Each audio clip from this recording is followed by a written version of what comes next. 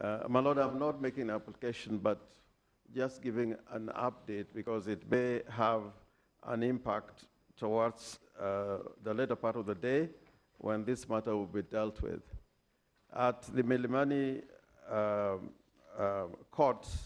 uh, the exercise of examination of documents is going on, but the trouble is that some documentation is not being made available. Uh, but for those that are available, the exercise, I think, is going on smoothly. And, and we just wanted some directions that uh, this matter should be expedited. Otherwise, we'll end up with a situation at 5 o'clock uh, with the exercise not being completed. Uh, but the most serious one is what is going on at the IEBC headquarters. Uh, I think uh, people, representatives are there, but there is substantial non-compliance. And we have given, we have written a letter to the court, and uh, my lords, without taking a lot of time, a perusal of that letter will show that there's substantial non-compliance. Again, we are raising this not in terms of making the, uh, uh, an application, a formal application, but just to update the court, and this will have an effect into what we are going to submit on uh, at 5 o'clock when we're given that opportunity. Uh, that's all that we wish to say, Your Ladyships and my lords.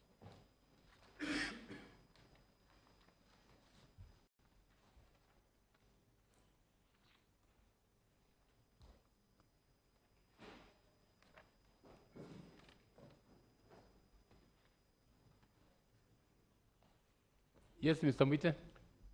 My Lord, on the first issue uh, regarding the issue of access ICT, my Lord, these servers are in Europe.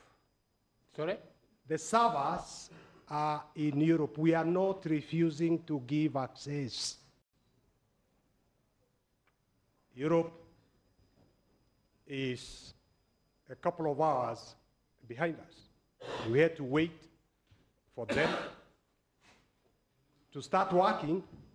They have to set up the access window with safeguards.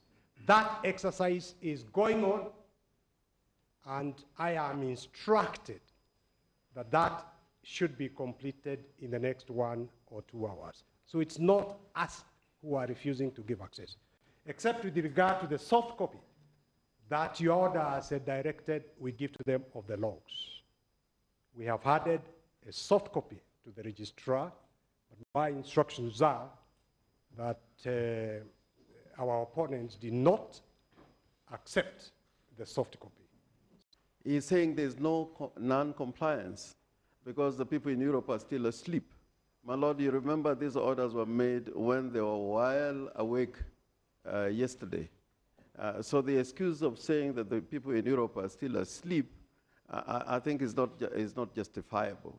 By the time these orders were made yesterday, uh, and Europe is about two, three hours behind us, they were fully awake. Now we are being told this morning that we have to wait until they wake up. And my lord, you would uh, expect this matter to be concluded by 5 p.m. So what we are just urging is that there should be full compliance. We are not going beyond the orders of the court.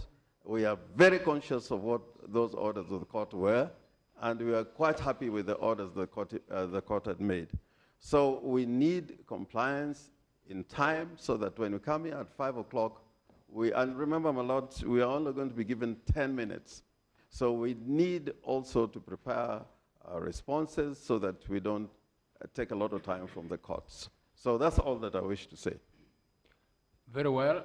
We gave the order yesterday morning. Uh, it is for the parties and their agents to work out and comply with the order within the time specified by the court. At 5 o'clock, we want a report. Anybody who will not have complied with the court order will tell us why he has not complied, and we will determine whether or not failure to comply is, was reasonable. And we will deal with that. Thank you very much, Mr. Ngatia, can you now proceed? I hope that has not interrupted your train No, of thought. It, it has not. it has not since uh, Mheshimiwa was one of our candidates in the electoral contest as well. So, so, uh, Mr. Muite, Mr. Muite and Mr. Orengo, Yes, Mano. please communicate with your clients Yes. To, uh, what?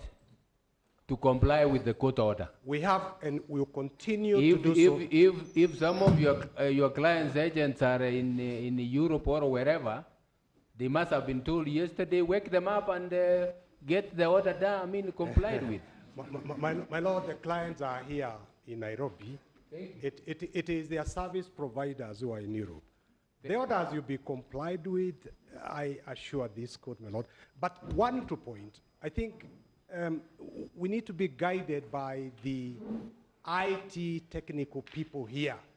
And I think the Supreme Court has its own IT experts working with the registrar of the court so that this report uh, we also factor in the technical aspects. Because I think when we are talking, uh, we, we, we need to be guided by those uh, experts. Are they not there at the IEBC headquarters? Yes, yes, they are there. Yes, they will Yeah. come and So- tell us, they will come and tell us, yeah. That's all I'm asking. Thank you. Thank